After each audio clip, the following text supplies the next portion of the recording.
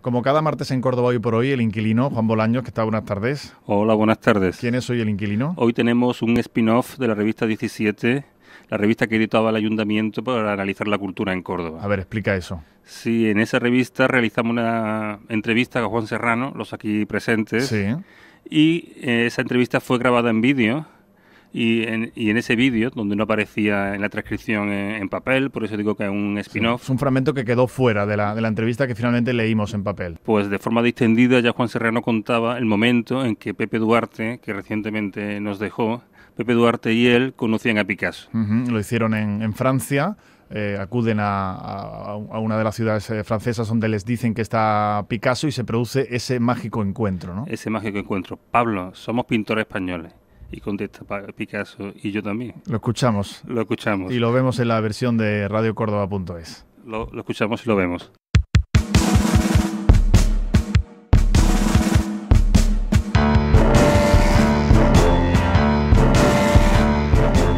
En Córdoba, hoy por hoy, El Inquilino. Llegamos a ver a Campbell, que era el, mm, el marchand de Picasso. El tío tenía un- vivía en París, tenía un despacho fenomenal, de caoba, yo se los recuerdo perfectamente. Y entonces nos llegamos, somos españoles, y nos recibió el tío, o sea que, ni siquiera dijo, bueno, que nos recibió en su despacho. Bueno, ¿y qué queréis? Pues queremos ver a Picasso, porque que- hemos, nos hemos enterado. No, queremos ver, bueno, no sé. Dice, mira, Picasso está en Valorís, que va a organizar una corrida de toros. Nosotros ya no teníamos dinero y ya nos veníamos para abajo.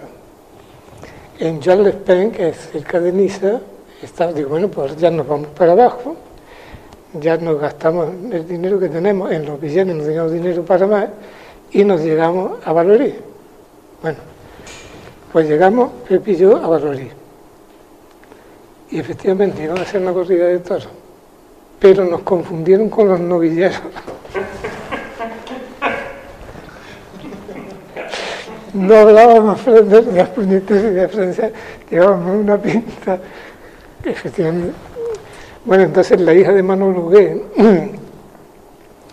la hija de Manolo que hablaba español y que tal, y, sabes que Manolo era este escultor, amigo de Picasso, mm, muy buen escultor, pero bueno, que no ha tenido demasiado, sí, sí, es muy, muy conocido, pero en los círculos la hija, eh, nos presentamos, nos coincidimos con ella y le explicamos que no somos los toreros, que nosotros no somos los toreros.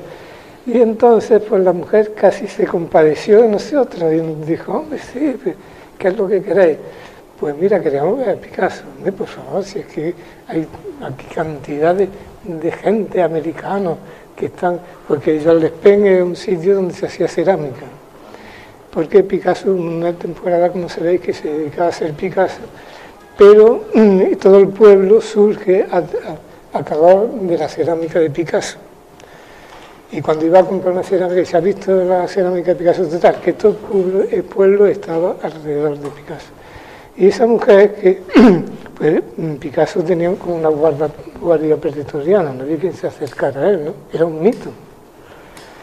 Entonces nos dice, mira, eh, Picasso vive en, una finca lejos, como el brillante aquí, por ejemplo, salimos yo corriendo para allá y yendo para allá aparece un, un Chevrolet de esos negros, un cochazo, y Picasso.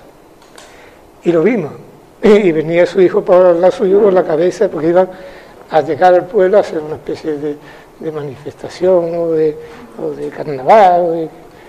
y al verlo mm, en el coche y con su hijo así, digo esto porque la imagen la tengo muy, eh, porque Paul era muy alto y un tío con una cabeza rapada así, con, era un espectáculo. Y Picasso era muy serio con esa mirada que tiene, no, que tenía, y salimos corriendo detrás del coche para volver al pueblo. Y al momento, y habían hecho una plaza de, de madera, de esa improvisada, ¿no? y Picasso estaba en el centro probando un micrófono. Esto lo he contado muchas veces, pero bueno, voy a repetir. y, eh, estaba, y yo llego corriendo y, y me caigo así casi al llegar, él estaba con el micrófono, allí de pie, en medio de la plaza, y le digo, Picasso, que yo soy pintor español. Y dice, yo también. bueno, a partir de ahí, mira, he leído ya todos los libros que ponen a Picasso a París, ¿no? Pero me pareció una persona magnífica, me pareció, y me dijo, vamos, a ir a la playa tarde, mañana, ¿no? Y si queréis nos vemos allí. Pepe tenía una, una tos, una especie de bronquitis eh, horrorosa. Total, que nos fuimos a la playa, estuvimos con él, estuvimos nadando, ahí a su lado, y luego nos dejaron, fíjate, que fuéramos a su estudio, a un estudio que era una nave terriza, llena con todas las obras por ahí, y nos dejaron, venga, entra, entra, y nos dejaron solo allí. Era el momento de haber mangado algo. Yo me arrepiento de la humanidad.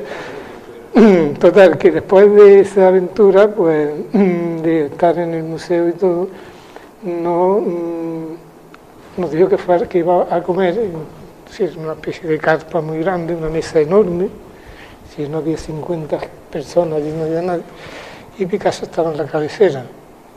Y cuando nos vio entrar por la puerta de allí, nos llamó y Y entonces Pepe y yo nos sentamos a su lado. Y Pepe con una tos, que yo decía, Pepe, por favor, contente que esto es un espectáculo, coño, ¿cómo puedes estar con esta tos? Total, otra, la anécdota siguiente es que teníamos una postal con el montón de con el nombre del cordero que está en la plaza de Valorín, que es un hombre con un cordero así. Y digo, Picasso firman, dedícanos la postal, ¿no? Fíjate cómo son esta gente que coge la tarjeta y empieza, a pintarnos cosas en la postal, ¿sabes? Y nos da nosotros. Aquello fue para nosotros, que te digo yo, además de que era como un dios, ¿no? O sea, que, que nosotros estábamos allí, que no nos lo creíamos que estuviéramos allí, ¿no? Total, nos dio la postal y ya nos vinimos a España y la postal la tendrá Pepe Duarte, pero como la hizo con bolígrafo seguramente se ha borrado, ¿no? Quedarán las huellas y le voy a decir a Auri, su mujer, que la busque, porque eso es, es una cosa importante. El inquilino.